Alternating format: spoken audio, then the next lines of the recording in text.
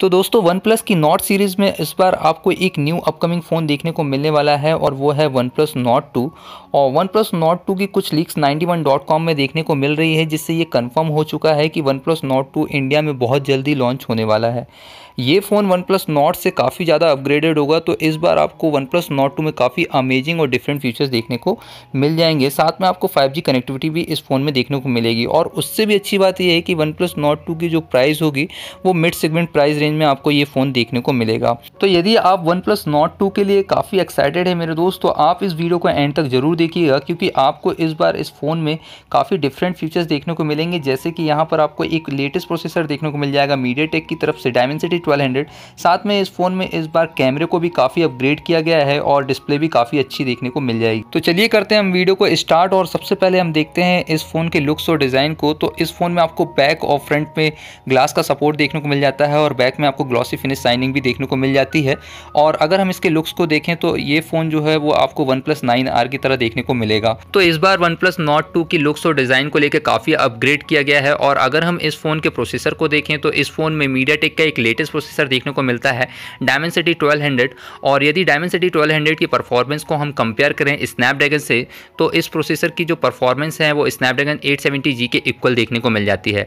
Dimensity 1200 flagship level का processor है, साथ में आपको इस फ़ोन में डुअल 5G कनेक्टिविटी का सपोर्ट भी देखने को मिल जाता है। और अगर रैम और रोम की बात करें तो यहाँ पर आपको इस फ़ोन में लोवेस्ट वेरियंट देखने को मिलता है six G B one twenty eight G B eight G twenty eight G B और हाइस्ट वेरियंट आपको देखने को मिल जाता है twelve G B two fifty six G B साथ में स्टोरेज टाइप आपको देखने को मिलता है U F S three point one और L P D D R four X RAM का सपोर्ट भी देखने को मिल जाता है। इस फ़ोन में जो प्रोसेसर है, उसकी क्लॉक स्पीड आपको टू पॉइंट सिक्स तक देखने को मिल जाती है।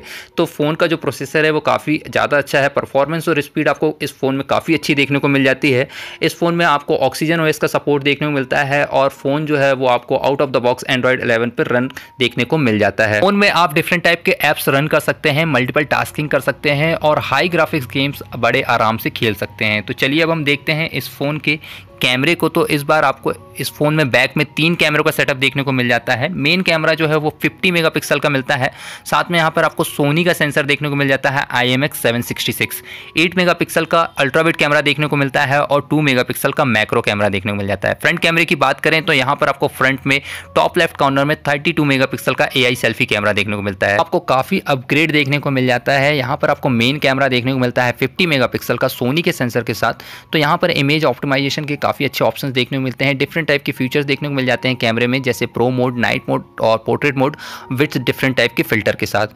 तो यहाँ पर कैमरे की क्वालिटी काफ़ी अमेजिंग होने वाली है। चलिए हम देखते हैं इस फ़ोन के डिस्प्ले को। तो यहाँ पर आपको देखने को मिलता है सिक्स इंच का full H D plus resolution के साथ सुपर एम पैनल डिस्प्ले साथ में यहाँ पर आपको नाइन्टी हर्ट्स का हाईगर रेफ्रेश रेट देखने को मिल जाता है।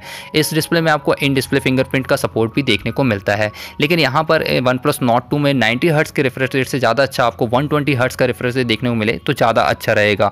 डिस्प्ले में आपको स्मूथनेस और ब्राइटनेस लेवल भी काफ़ी अच्छी देखने को मिल जाती है। चलिए हम इस फ़ोन के बैटरी को देखें तो यहाँ पर आपको 4500 थाउज़ेंड की एक शानदार बैटरी देखने को मिलती है। साथ में आपको एक फास्ट चार्जर देखने को मिलता है 65 वाट का।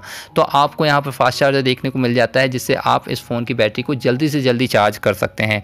अगर हम इस फ़ोन की प्राइस की बात करें कि ये फ़ोन कितने प्राइस रेंज में इंडिया में लॉन्च हो सकता है तो इस फ़ोन का लोवेस्ट वेरियंट आपको ट्वेंटी या ट्वेंटी तक देखने को मिल जाएगा। और इसका हाइस्ट वेरियंट जो कि twelve G B two fifty six G है, वो आपको थर्टी टू थाउज़ेंड की रेंज में देखने को मिलेगा। और अगर हम इस फ़ोन की लॉन्चिंग की बात करें कि ये फ़ोन आपको इंडिया में कब तक देखने को मिल सकता है तो इस फ़ोन की लॉन्चिंग शायद आपको जुलाई के मंथ में देखने को मिल जाए। तो दोस्त, ये रही कुछ स्पेसिफिकेशन इस स्मार्टफ़ोन के बारे में।